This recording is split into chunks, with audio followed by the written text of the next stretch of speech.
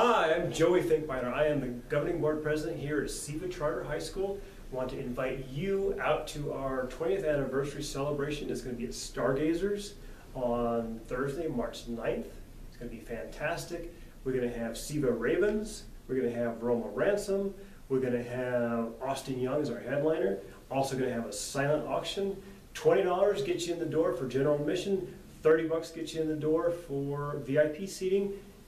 Come on out and see us. We'd love to have you. Thank you.